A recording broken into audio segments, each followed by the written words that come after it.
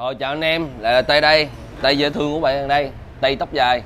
Thì giờ Tây sẽ tóc dài sẽ giới thiệu cho các bạn là dọn rim thái phục hồi lại như mới phụ tùng mới chính hãng.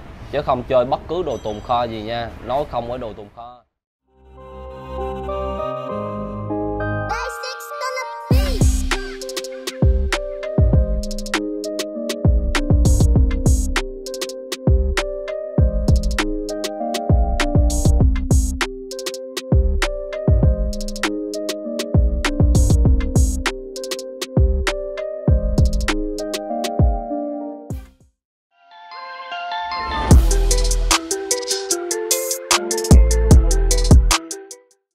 500 anh em YouTube đến với kênh Tây Cua Niễn Vlog Thì hôm nay là mình sẽ xin giới thiệu với các bạn là xe rim Thái 7 số 3 cục đến từ Bình Dương. Và xe này á, là mình sẽ tiến hành mình dọn mới lại.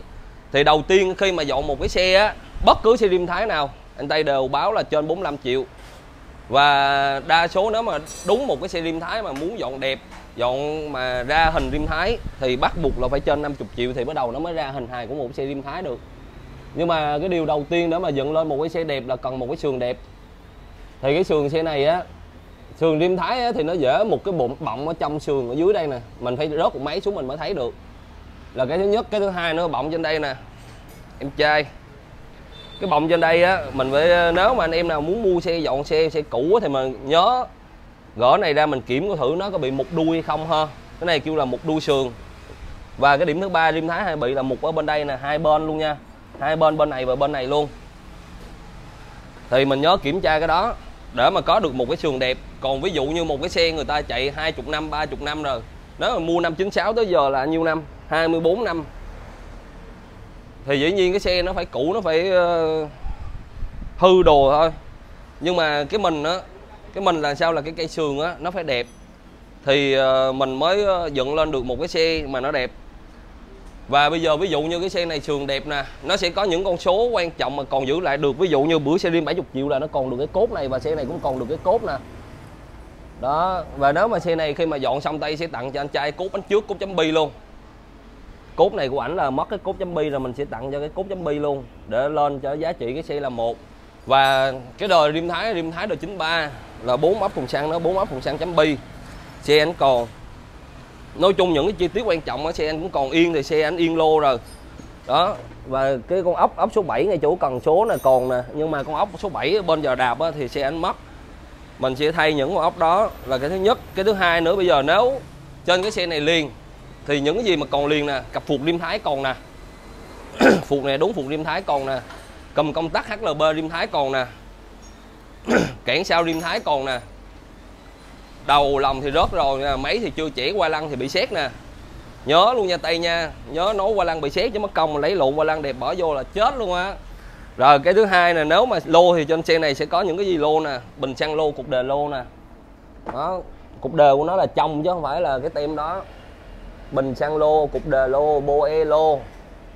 Rồi, xong rồi tiếp đến là cái bô lô cái gấp này mình sẽ coi thử. Nếu mà gấp này nó cũ quá, mình sẽ thay gấp mới đi cho nó dàn chân nó chắc chắn. Rồi, bây giờ để mở thêm bên đây luôn để coi IC sạc chớp đồ nó như thế nào ha. Đầu này, đầu ET còn dinh theo xe nè. Lòng này đúng lòng dinh nè. Rồi, tiếp theo là mình, lòng dinh lén nữa mình chỉ, mình coi thử nó có mấy. Cặp cớp này không giữ lại được nè, bể nè. Đó, ví dụ một cái xe rim thái nè. Cái ờ, có có xe người ta sẽ dán cái tem này ngay đây có xe người ta sẽ dán cái tem này lên cái miếng này. Chứ không phải nhất thiết là dán đây hết nhưng mà nó vẫn có cái viền sẵn nhà sản xuất là đỡ dán. Cục sạc nè chớp xi nhan nè. Rồi đồ này là sẽ trả lại cho ảnh ha. Thì bất cứ đồ cũ nào mà ai yêu cầu để lại cho người khác thì để đỡ lại cho ai đem giờ lại ta sẽ gửi đóng thùng đem giờ liền ha. Sơ cục uh, kính con chớp xi nhan nè rồi bây giờ là mình quay sơ bộ. Thì uh, cái xe này á, là đang dọn thời điểm này là thời điểm 26 tháng 10 2020 thì mình coi thử là chừng nào mình sẽ giao được cho anh nha. Bởi vì một cái xe tay dọn là từ 3 cho tới 4 tháng. Cho nên là thời điểm này tây ngưng nhận dọn xe rồi mà do anh trai mến anh trai chạy xuống. Thì anh trai bỏ trước. Nếu mà nói chính xác thì với câu ổng nói nha là 90 phần trăm có thể lấy trước Tết 10 phần trăm có thể lấy sau Tết. Còn nói chính xác theo câu tay nói thì uh, em dọn xe anh á là có thể là qua Tết lấy. Nếu mà xong trước Tết thì em giao trước Tết cho anh. Thì để mình coi thử là từ đây tới uh, trước Tết đó mình có giao kịp cho anh hay không. Để mà ảnh uh, có một cái xe anh dựng anh làm kỷ niệm ở xe này là xe của hai chồng hồi đó mua từ chính tay chính đồng tiền mồ hôi công sức đồ của ổng là ổng bỏ ra. Ổng uh, mua cái xe này không có xin tiền cha tiền mẹ tiền gì hết ha. Bây giờ mình sẽ dọn lại cái xe này làm kỷ niệm của ổng. Để mà ổng đi lại và chân ở tiệm thì uh, mình sẽ ờ, nếu mà khi mà gỡ ra mình sẽ trả lại những món đồ gì? Đó và mình sẽ lại giữ lại được những gì? Thì cái xe này là mình sẽ ờ, cho các bạn coi luôn. Có hồi bữa xe nào mà anh làm clip là trả là những gì? Một cái xe dọn á xe ờ, xe Đà Lạt hay xe nào của anh ta? Hả? Xe Bắc Ninh. À. rồi, bây giờ là mình sẽ tiến hành bắt đầu, mình gõ ra, mình gõ ra tới đâu á, là mình sẽ quay lại tới đó cho mọi người cùng xem ha rồi, chào 500 em youtube. Thì ví dụ như là một cái xe rim á, mà khi mà mình đã ra xong hoặc là bất cứ xe dọn nào mình đã ra xong thì mình sẽ giữ lại được những gì. À thì đây là những cái đồ á. Ờ, thì giờ đây á là những cái đồ mình giữ lại đầu tiên máy thì mình phải giữ lại không nói rồi. Thì bây giờ mình sẽ ờ, tặng một cái món quà tặng bất ngờ đến cho chủ xe và 500 anh em youtube. Đây xe còn đẹp còn dinh lắm. Đó giờ cho chị hay cho em mượn bao nhiêu năm rồi?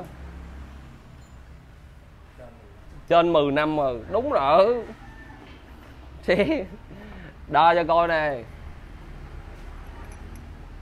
Bích tông là 51 ba à. thì cái xe này đúng luôn bụng giữa chưa trẻ đó bụng giữa chưa trẻ là tại sao biết? À là ron nè đúng, còn ron dinh màu đen. Và nếu mà có nhiều người người ta chỉ ra mà ta giữ được cái ron đen thì người ta phải chét keo lại. Còn này là keo chưa chét đúng là bụng giữa chưa trẻ đó, rồi xong. Cái thứ nhất cái thứ hai á, là đầu lòng là rớt rồi. Và lên tới cái này là cốt này là cốt 4 cốt 5 luôn là rất là bự. Thì bây giờ mình sẽ có hai phương án để mình giải quyết. Một á, là mình sẽ lấy cái lồng này mình đóng lại. Mình dây về cốt không, cứ qua em trai. Hai á, là mình sẽ ờ, quýnh một cái bài kêu là bài mới sau này dành cho anh em xe rim á, là mình quýnh trái 50 51 52 luôn. Vẫn chạy đồ dinh hết, vẫn êm luôn, không kêu lòng cái đó là bí quyết nghề nghiệp. Tại vì bữa giờ làm xe rim nhiều cũng giải quyết một số vấn đề mà do nhiều anh em mà muốn đi đầu lòng rim mà xe người ta vô tình lên trái cốt lớn quá, mà người ta muốn đồ ngon chất lượng, mình vẫn giải quyết được cái vấn đề đó. Và cái máy này mình sẽ ráp lại mà mình đi bố xịn đồ luôn. Tiếp đến đồ giữ lại được là cái gì? Là cây sườn. Cây sườn thực sự là còn rất là đẹp nha anh em. Cái sườn này còn đẹp, nhưng mà cũng tiếc cái là cái đuôi bị mục rồi. Đây, một chút xíu đây à. Hơn là trên đây vẫn chưa mục một chút xíu ở đây, và cái ống sườn series hay bị nhất là cái ống sườn, nhưng mà ống sườn của ảnh. Trời ơi, bởi vậy, một đuôi rồi đó, rồi, cái ống sườn là còn đẹp nghe đó, ống sườn là còn đẹp gõ đi. Chưa nha chưa sức rộng ấy càng gì hết, bên đây. Rồi, chưa sức rộng ấy càng. Cái thứ hai, cái xương này nó còn được cái tem này nè, mình sẽ giữ cái tem này lại đây, cái sườn này, còn cái tem này, mình sẽ giữ cái tem này lại. Tem này kêu là tem tồn kho theo xe. Mấy tem này giờ mua không có hoặc là có thì rất là mắc. Những cái nào xe còn mình phải biết tận dụng lại. Và chẳng ba giỏ phuộc phuộc thì dĩ nhiên bắt buộc luôn là phải cân chẳng ba lại.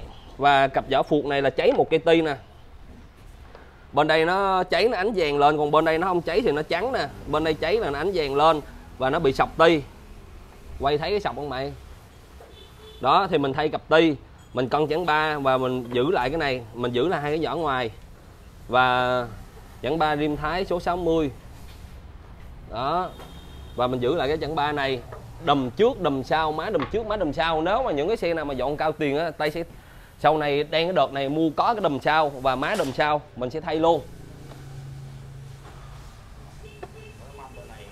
À. đây xe này à, mình giữ lại độ đồ khá phải như mấy xe kia là bỏ hết, còn cái sườn lại lóc không? Cái đồng hồ này mình sẽ phục hồi lại, sẽ làm cho nó mới, ken xà ben lại là về cái đồng hồ. Và xe này luôn còn được cặp phục rim thái. Thì sẵn clip ở đây anh em nhớ, ngày hôm nay là cái ngày mà cái phục này nó tàn tạ như con chó lát và sau này mình sẽ phục hồi nó mới lại. Và cái dòng này mình cũng làm cho nó mới lại, nhưng mà dòng này mình làm cho nó mới lại, mình nói trước là mình sẽ không có sơn nhưng mà khi mà làm cho nó mới lại thì nó cũng được ba, bốn năm hay hai, ba năm gì đó. Nhưng mà mình vẫn có chất liệu làm, khi mà nó cũ thì vẫn làm cho nó mới lại tiếp được. Đó. Và cặp cùm HLB trên xe. Chủ xe nói là làm sao làm phải có lại được cái chữ HLB cho tao. Ok, chính xác là vậy luôn. Ba xe trên đó là ba xe có hết luôn. Rồi, bộ lóc. Mấy cái lóc này là không bao giờ thay nè. Đó, lóc này là trước khi ờ, bỏ sơn là tự rửa nhà luôn sạch sẽ nè rồi giờ cái lóc này là làm sao? Người ta kêu là nối dài, nối vòng, không có bằng thằng mà chạy thẳng tới tiệm. Tính ra bữa gọi là, gọi nào? Gọi em kia là sáng này xuống luôn á. Cái lóc này nè, của người ta hai mấy năm hay gì không còn biết. Nhưng mà dĩ nhiên là nó vẫn còn xài được. Nó xài được thì mình mới xài, bởi vì sao? Tay tay rất là kỹ. Bữa có cái ông nào ông gọi, làm hay không làm không biết, nói chắc chắn em làm luôn, nói chuyện đồng hồ hai ba tiếng đồng hồ. Nói xong, hỏi lóc này đồn sao, làm sao? Rồi ờ, đi lâu quá răng cụ rồi nó mục không cuối cùng luôn ờ, có thấy đâu trong cái đó nè. Gọi hỏi là xuống mà thời điểm này là tay không nhận dọn nữa. Nhưng mà ông cứ nói kệ anh quăng cho em anh thích. Anh quăng cho em chừng nào xong thì anh sẽ lấy. Có thể trước tết hoặc sau tết bởi vì thời điểm này là tay đã ngưng nhận rồi.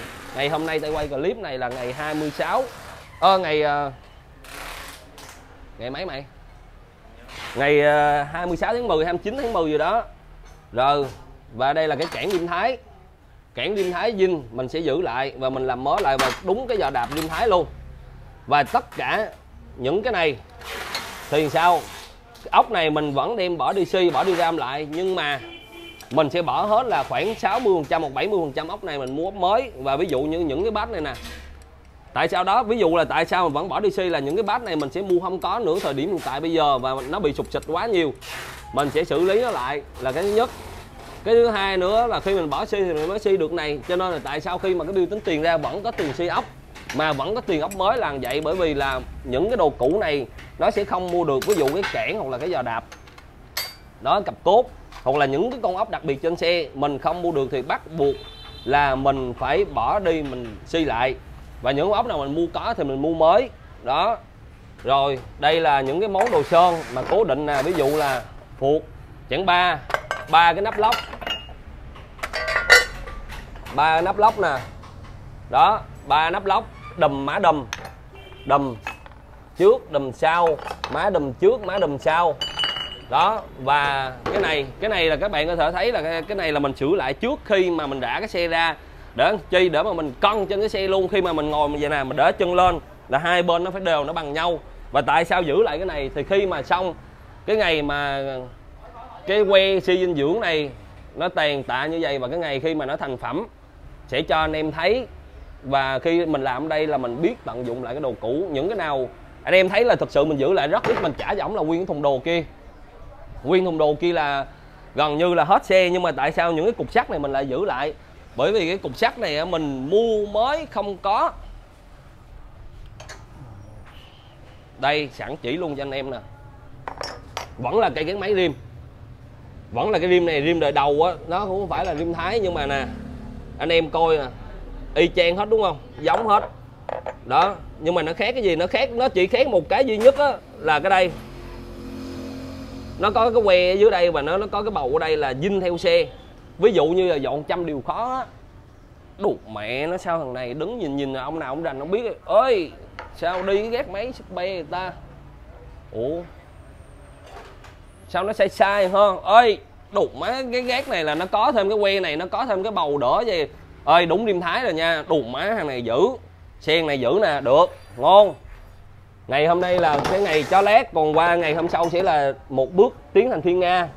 Nhớ cái ngày mà cái lóc nó dày nha, rồi tới ngày cái lóc mà nó lột xét thì là mình phải biết cái công sức người thợ hôm đó, rất là nhiều người ta chùi rửa đồ rất là lâu. Đó, và những cái việc mà chùi rửa đó là do David tới em nó ờ, thực hiện rồi đây là hai cô máy bỏ vào đây. Thì cái đây là đồ mình sẽ giữ lại cho một cái xe rồi em trai cầm cái chắn ba bỏ qua cổ phuộc cho nó cân chắn ba đồ. Liền. Rồi bây giờ là mình sẽ tiến hành mình đi làm đồng cái xe này. Rồi uh, bây giờ mình làm gì tiếp biết không? Giờ ăn cơm hai rưỡi chiều rồi. Bye bye mọi người nha rồi chào anh em. Lại là tay đây. Tay dễ thương của bạn đây. Tay tóc dài.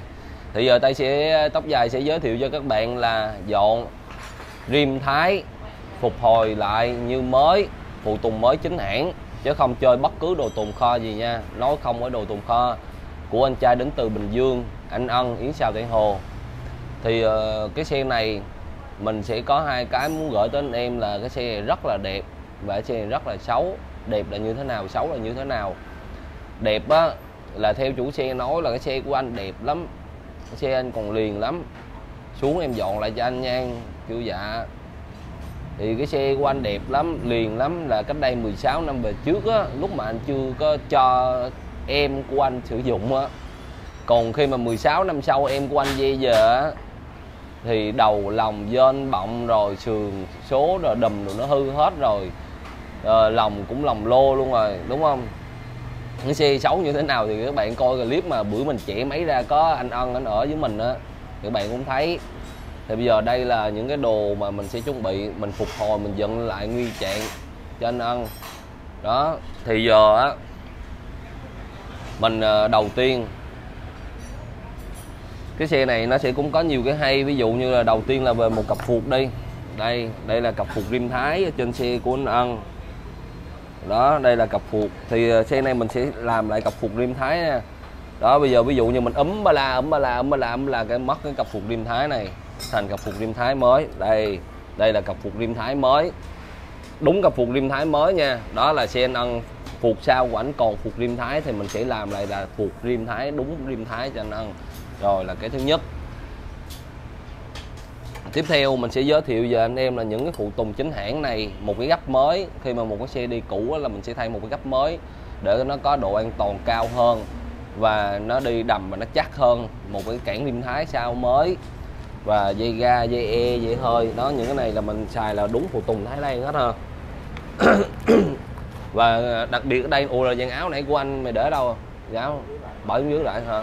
Dàn áo của anh ân á, thì ờ, về dàn áo á, là mình mua dàn áo rim thái mới.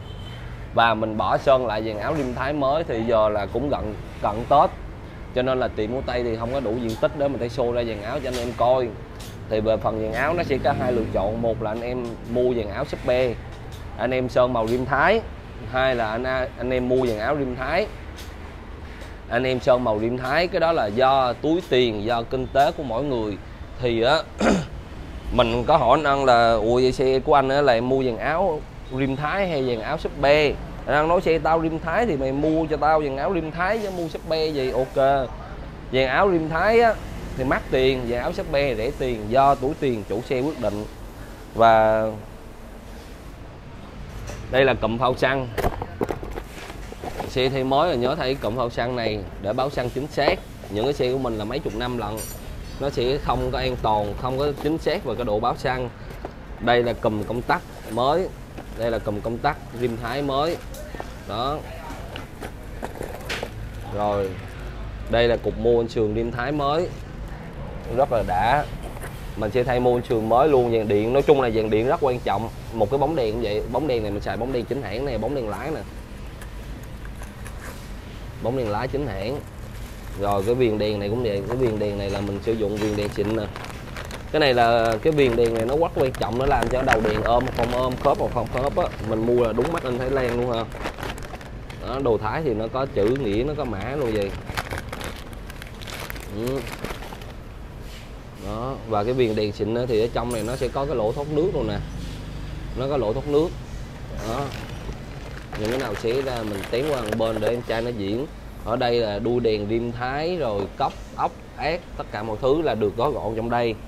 Mình sẽ không giới thiệu nữa bởi vì là ở đây là cái rim thái này, tới ngày hôm nay mà mình dọn, mình giới thiệu cho các bạn là nó quá nhiều à. Thì mình, những cái đồ đó nó sẽ lặp đi lặp lại, mình giới thiệu nhiều, nó sẽ có sự nhàm chán. Ở đây là sẽ là một cái bô rim thái mới đó, và mình ghi riêng, mình để dành riêng cho ảnh luôn là 2764 ở đây là cặp nẹp sườn nẹp sườn đây là đúng nẹp sườn Thái Lan. Nẹp sườn này có nhiều kiểu lắm nha. Ví dụ như các bạn có thể thay bằng cặp nẹp sườn shopee vô cũng được, nhưng mà mình luôn rõ ràng. Em xài đồ thái, em sẽ nói đồ thái, em sẽ tính tiền đồ thái, em xài đồ việt, em sẽ nói đồ việt và em tính tiền đồ việt. Em không có bao giờ mà em xài đồ việt mà em tính tiền đồ thái. Ở đây là một cái boe thái lan mới, đó. Rồi, ốc cũng như bao xe khác xe này quá nát thì ốc vẫn lấy ốc cũ si. Rồi cái thứ hai là vẫn mua một thùng ốc mới. Đây là tất cả một thùng ốc mới của mình mà chuẩn bị sẵn để cái xe này thiếu hụt ốc. Nói chung ốc này á là full 100% đầy đủ nguyên xe. Đó và mình vẫn đem ốc cũ mình xi lại và mình vẫn xài ốc mới để chi để cho nó đủ. Có những con ốc á, nó chuẩn dinh chuẩn dinh là sao? Ví dụ như những ốc mới giờ nó không giống được những ốc cũ. Bắt buộc mình xài lại những ốc cũ và thùng xăng cũng vậy. Thùng xăng sau này là mình đều thay thùng xăng mới. Thùng xăng này nè, đều là thùng xăng mới hết chứ không xài thùng xăng cũ. Đó. Rồi ờ, đây là tổng quát sơ qua về xe rim của anh Ân và một cái yên rim thái mới. Thì bây giờ mình sẽ tiến hành á, mình đáp lên và mình sẽ cho anh em coi từng giai đoạn, từng giai một, giai đoạn một để mình trải qua khi mà phục dựng là một cái xe xe này giờ thì anh nói sẽ anh để ở nhà anh chân rồi đó, anh ít sử dụng, nhưng mà phải làm phải đẹp và chạy phải nhẹ nữa, chứ không phải để chân mà chạy không ngon là không được. Rồi, chào mọi người. Rồi, đây là cặp lóc của ờ, anh Văn Dương. Rửa lại rất là sâu sắc rất là đẹp hơn. Tất cả đều là màu dinh hết, nó không có bán cát hơn. Hồi đó giờ đồ mình là không có bán cát đó. rửa là đáng đồng tiền. Nó còn cái bông dinh này thấy không? Rồi bây giờ bắt đầu mình mới đem đi mình làm lại. Rồi bắt đầu giờ mình rửa lần nữa, mình làm lấy ốc gãy luôn nè.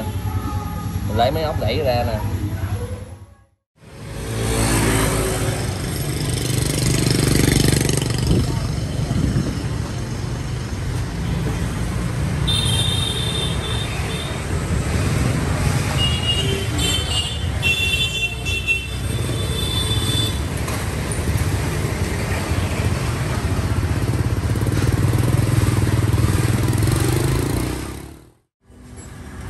Rồi thì giờ đây là xe rim của anh ăn Thì giờ mọi thứ xong xuôi hết rồi, Mình chạy thử xong rồi.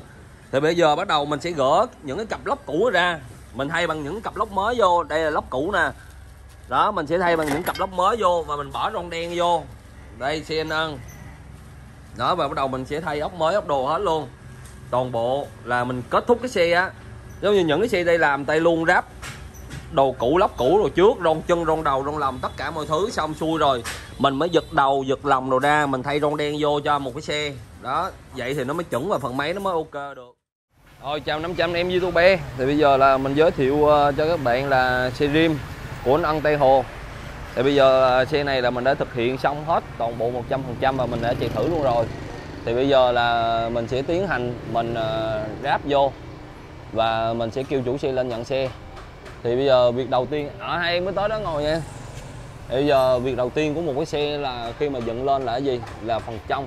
Tay luôn chú trọng phần trong phần máy và phần dàn chân bởi vì một cái xe nó quan trọng chạy được hay không chạy được là những điểm đó. Ba yếu tố quan trọng nhất máy phải ngon êm chạy nhẹ phuộc uh, ờ, chẳng ba trước đi đông trước phuộc sau nhúng phải đầm chạy phải chắc. Thắng bóp phải ăn.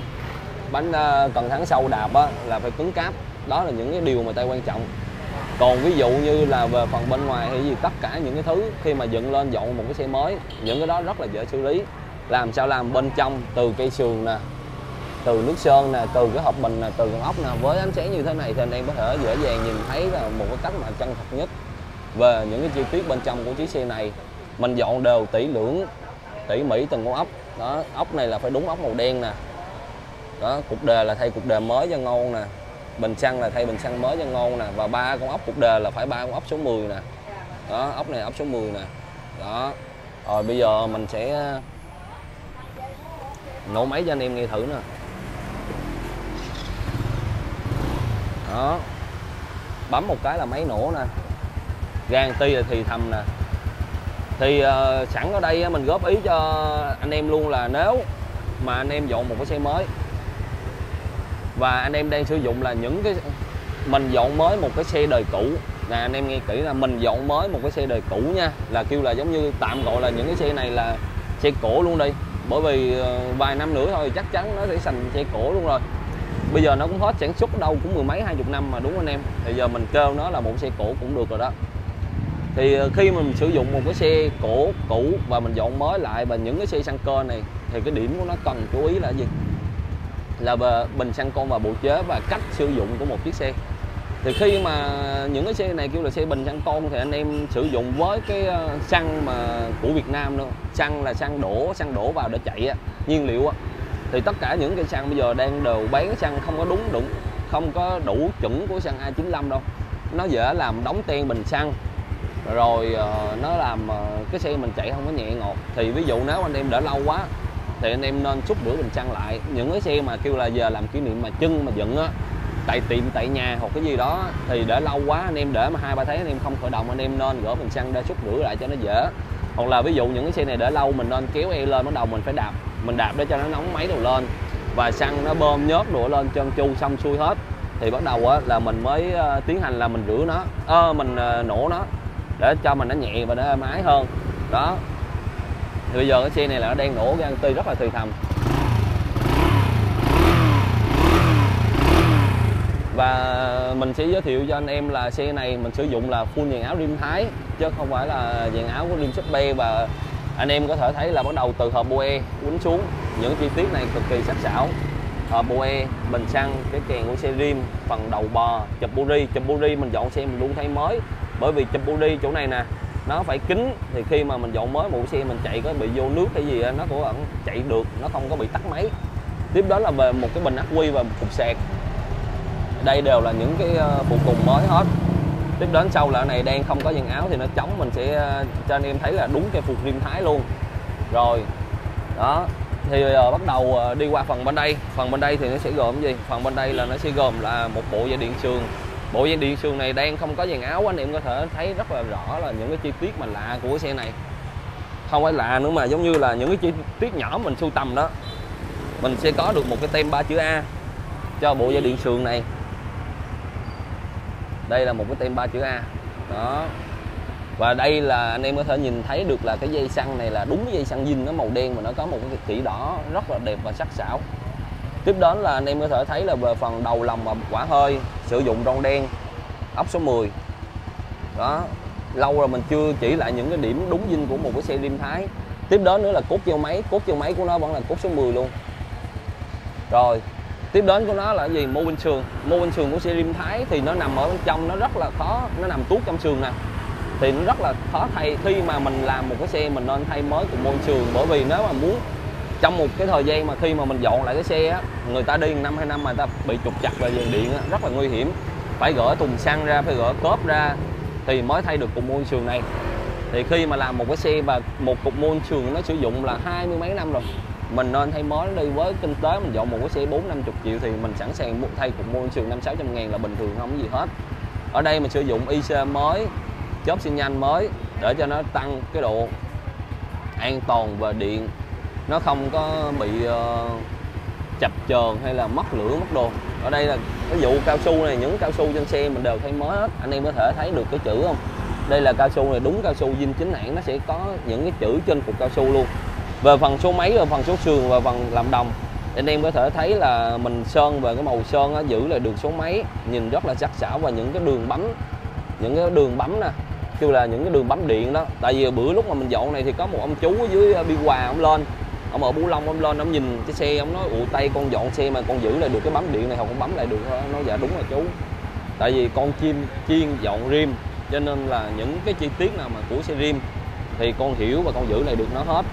Đó. Rồi thì bây giờ là mình đã giới thiệu ba cái xe. Trong lúc mà mình đang ờ, review cho anh em xem thì cái xe nó vẫn đang nổ máy rất là chuẩn. Đây, mình nẹt lên tiếp. Nó không có tắt máy ngang hay gì đó, nhưng mà đối với xe rim này người ta vẫn ở là Tây Hồ Bình Dương. Thì uh, Tây Hồ là, là là cái tên của tiệm anh nha. Còn người ta vẫn ở Bình Dương. Đường cách mạng 8 thì uh, vẫn rất là gần mình. Cho nên là đối với dòng xe rim này anh em nên khi mà chủ xe coi clip này thì chắc là cũng là phải một hai tháng sau lận. Thì uh, chủ xe mà thấy được clip này á, anh nên nhớ là hôm nay là ngày 26 tháng 12 năm 2020 thì uh, khi mà anh coi được clip này á thì anh nên nhớ là xe anh á, nếu mà anh đi kỹ á, 4 năm tháng sau anh lên em canh chỉnh canh nồi canh cò đồ lại cho anh vẫn không tốn tiền vẫn bảo hành đồ đàng hoàng. Khi mà anh canh chỉnh lại như vậy á, thì nó sẽ chuẩn hơn và nó sẽ nhẹ nhàng hơn cho anh nữa và nó sẽ càng êm ái hơn. Và khi lên đó anh muốn em canh xăng lại em vẫn canh xăng lại được cho anh tiếp và vẫn không lấy tiền luôn. Đó thì bây giờ là em sẽ tiến hành em ráp hết cái xe này lên và em sẽ review à, bên ngoài của xe này cho mọi người cùng coi những cái hay nhất còn nếu mà giờ phần bên trong thì nó sẽ cố định như cái này rồi. Nhiệm vụ của mình là làm sao mà cho nó gọn, đẹp và sạch sẽ nhất ngay cả bên trong. Chứ em không chú trọng mình thích bên ngoài, em rất chú trọng ở bên trong bởi vì nó phải chuẩn dây điện dây đồ nó không có vô nước, nó không có bị chuột cắn, nó phải gọn gàng. Nó gọn vậy thì khi các bạn bị lái những cái sợi dây này nè, nó không có chèo vô cái tay thắng hoặc là nó chèo vô cái bửng nó không có nặng. Đó. Nó phải gọn gàng mà nó nhẹ nhàng, nó chuẩn gì hết. Rồi à, chào 500 em youtube.